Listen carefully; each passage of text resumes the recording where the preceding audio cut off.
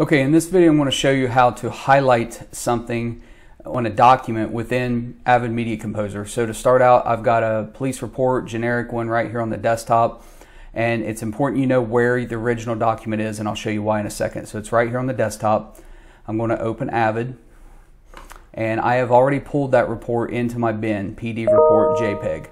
So now we are going to put this, I'm just putting in and out about 10 seconds, and I lay that in a timeline. The next thing we're going to do is go up here to Image, Avid Pan and Zoom, and I am going to pull that effect over. Now up here in the effect editor, we're going to change display to target, and we're going to import the image, and that's where we go back here to the desktop and find that original file, PD report.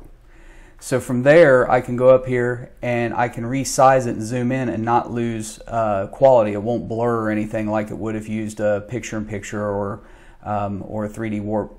And so then all I'm going to do is I'm going to get to the point that I want.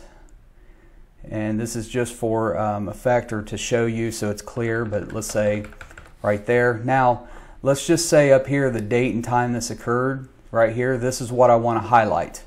So within Media Composer, what you do is go up to the effect palette, go to image, go to spot color effect, and drag that on a line above your B-roll line or the clip of the uh, police report. So from there, we go into the effect editor and we want to edit this spot effect. And all you do is you grab the little uh, rectangular tool. If it's um, an even document like this. If not, you may have to use this tool here and, you know, draw your lines.